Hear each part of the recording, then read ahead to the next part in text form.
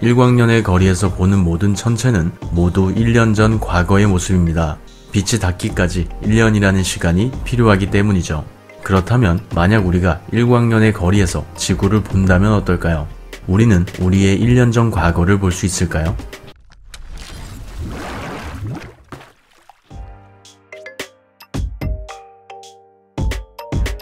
진공 상태에서 빛의 속도는 초속 29만 9,792km로 항상 일정합니다. 따라서 여러분이 지금 제 영상을 스마트폰으로 보고 있다면 여러분들은 스마트폰의 영상보다 0.0000056초만큼의 과거의 모습을 보고 있는 거죠.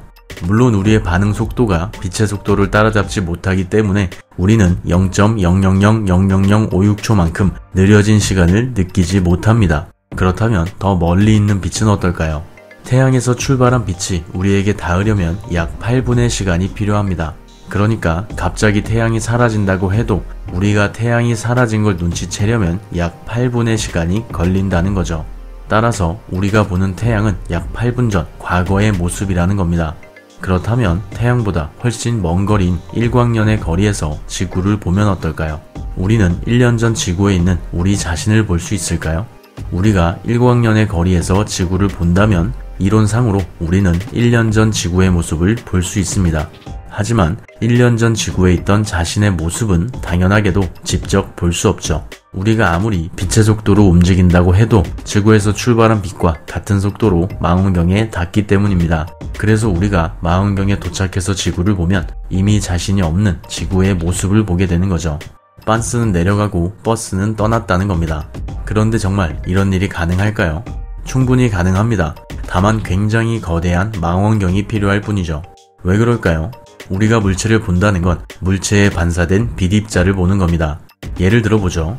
여기 동그란 원의 왼쪽 부분에 빛입자 3개를 보낸다고 가정해볼까요? 지금 보시는 것처럼 원에 부딪힌 빛입자들은 원의 모양대로 사방으로 퍼지게 됩니다. 이때 당연히 부채꼴 모양으로 빛이 퍼지게 되겠죠.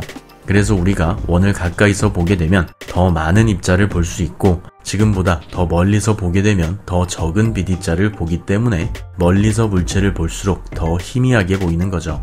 그래서 이렇게 흩어진 빛을 모아줄 거대한 망원경이 필요한 겁니다. 망원경이 빛을 모아주면 더 멀리 더 또렷하게 볼 수 있는 거죠. 따라서 망원경이 크면 클수록 더 먼 거리를 볼 수 있게 됩니다. 그렇다면 일광년의 거리에서 지구를 보려면 얼마나 큰 망원경이 필요할까요?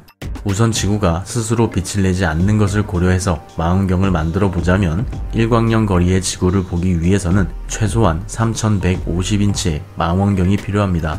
미터로 환산하자면 80m의 렌즈를 가진 망원경이 필요한 거죠. 또 이 망원경에 초점을 맞추기 위해서는 약 1520m의 경통이 필요합니다. 하지만 이렇게 거대한 망원경으로도 지구의 표면은 볼 수 없습니다. 우리가 이 망원경을 통해 볼 수 있는 건 작은 점으로 보이는 지구뿐이죠. 그래서 실제로 지구의 표면을 보기 위해서는 22억 6378만 인치 구경의 망원경이 필요합니다. 그리고 이 망원경의 경통의 길이는 190만 2500km에 달하죠. 지구의 지름보다 약 86배나 더 긴 길이의 망원경이 필요한 겁니다. 물론 이런 망원경을 만드는 건 불가능하겠지만 정말로 우리가 이런 망원경을 가지고 있다면 우리는 일광년 밖에서 지구의 1년 전 모습을 볼 수 있게 되죠. 그렇다면 망원경을 더 크게 만들어 보면 어떨까요?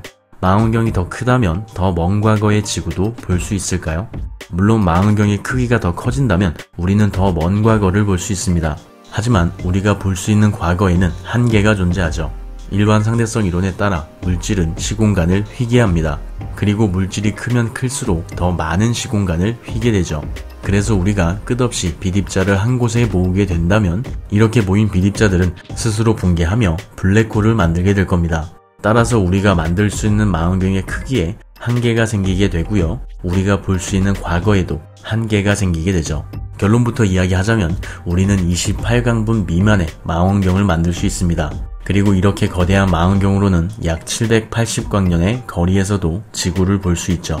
그러니까 이 망원경이 현재 780광년의 거리에 있다면 지금을 기준으로 780년 전에 지구를 볼 수 있다는 거죠. 물론 이 이상으로 욕심을 내서 망원경의 크기를 키우게 되면 앞서 말씀드렸듯이 우리는 망원경이 아니라 블랙홀을 만들게 될 겁니다. 영상 봐주셔서 감사합니다. 구독과 좋아요, 알림 설정 잊지 마시고요. 물론 일광년의 거리에서 지구의 표면을 보는 일은 현실적으로 불가능합니다. 하지만 이런 상상을 해보는 건 언제나 즐거운 일이죠. 그럼 내일도 조금 더 행복한 하루 되길 바래요. 윤맨